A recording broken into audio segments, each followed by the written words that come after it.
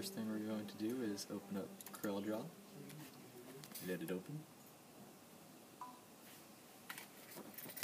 No, that's not a backup file.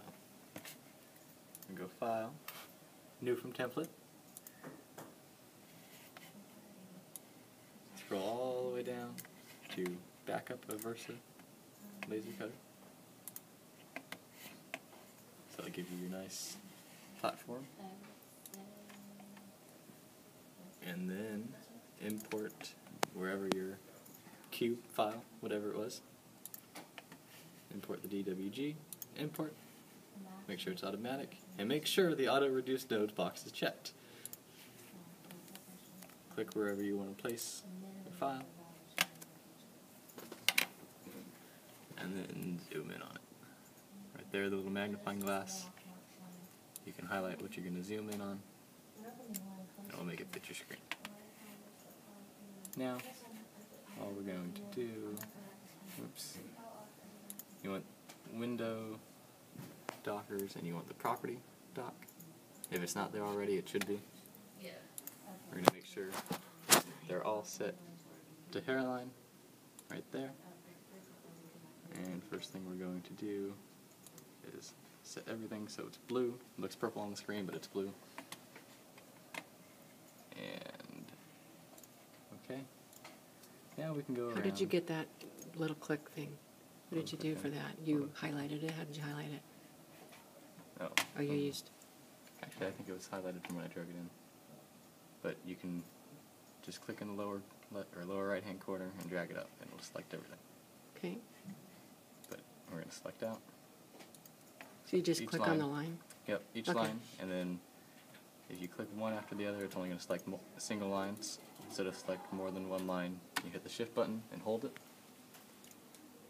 And you just go around clicking all the outside lines that you want cut.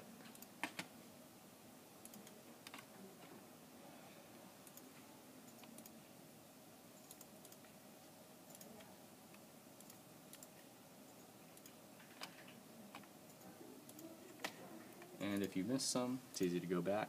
Like I missed that one right there. Those two. It's easy to go back. Select those after the fact. And change them. We're going to make them red.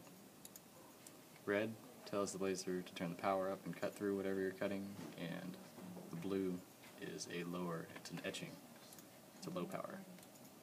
Okay, now that we have the cube exactly how we want it, we select what we want to cut.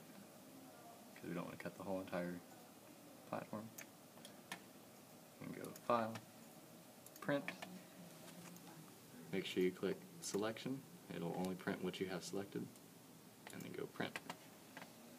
Down in the right hand corner, it says Universal Laser System Control Panel. There's a little red box with an exclamation point, I think, in the middle. And when you open it up, you should see your drawing, whatever you're going to cut. And next, make sure the laser's on. What do you turn the laser on with? Oh, Hit the power button. okay. You go into the settings and choose whatever you're going to cut on. So for us, for our foam board, we're going to be choosing mat board custom. And thickness, you can leave the material thickness, it works fine. It also um, works at 0.14 too. Floor. hmm You don't get quite as much of the heat. Well, we can change it to 0.4. Click OK. And now it should be ready. So if we have a piece of foam board that we can throw in there.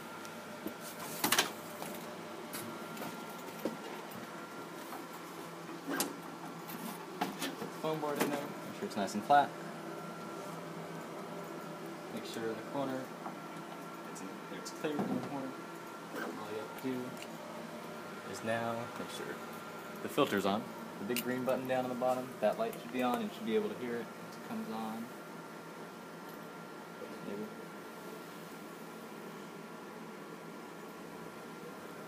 There we go. And now all we're going to do is hit print or start engraving.